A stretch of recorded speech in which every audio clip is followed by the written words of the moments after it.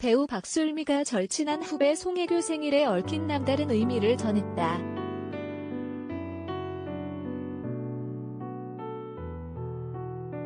박술미는 11월 22일 인스타그램 스토리에 해피 버스데이라고 적고 송혜교 사진과 둘째 딸 생일 파티 사진을 나란히 게재한 뒤 우리 집 꼬맹이랑 생일이 같아서 미역국 끓일 때마다 평생 생각날 거야.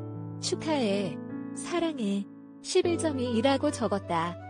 딸과 송혜교의 생일이 같아 잊어버리기 쉽지 않다는 뜻이 담겨 있다.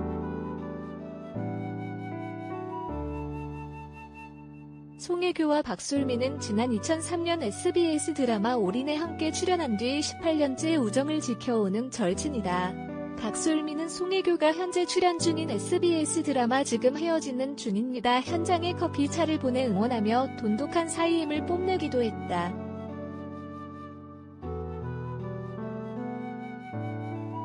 박술미는 2009년 KBS 1TV 거성 김만덕에 출연하며 인연을 맺은 배우 한재석과 열애하다 2013년 결혼했으며 슬아의 두 딸을 두고 있다.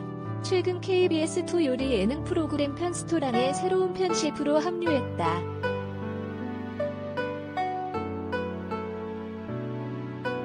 강나연 콜론 내연, 텐앤 허프포스트, 태양